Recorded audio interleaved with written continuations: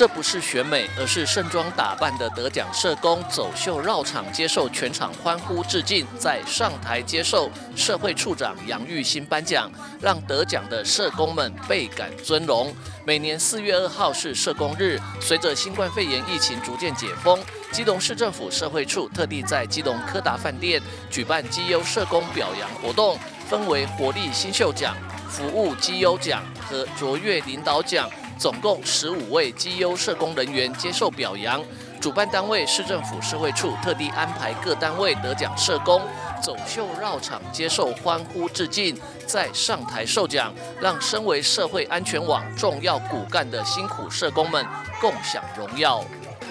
四月二号是基隆的社工日，我要向社工们这群平民英雄致上最大的敬意，没有你们。没有今天撑起整个基基隆基层服务的可能。我所在的仁爱区是基隆开发最早、最老的行政区，有许多弱势的家庭，都是一位一位社工协助撑起。我要在这边向你们致上最大、最真诚的敬意，谢谢大家。掌声鼓励。我想，在我在议议会的这个任内，每一年的社工日，我在这边跟大家宣布，我一定不会缺席。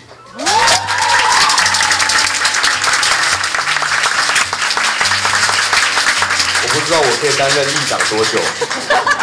但是我在担任议长的这四年的时间，市议会绝对会给予大家最大的协助，让善的循环在基隆扩散。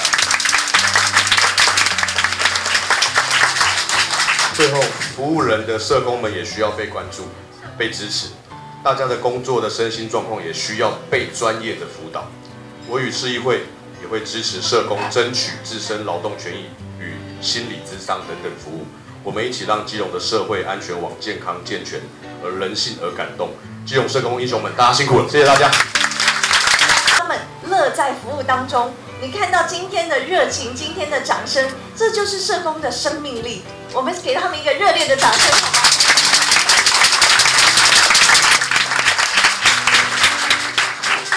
呃，其实我很很感动于社工所有的一切，实在千言万语。但我要说的是，感谢你们以你们的生命投入在另一个生命当中，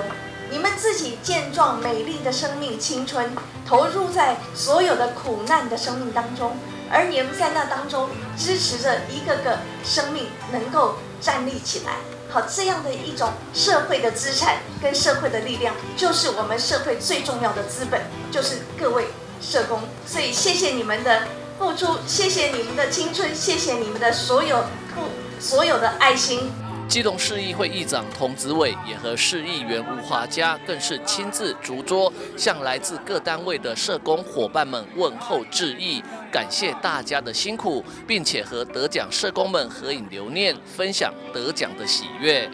有爱基隆，有爱社工，者吴俊松机动报道。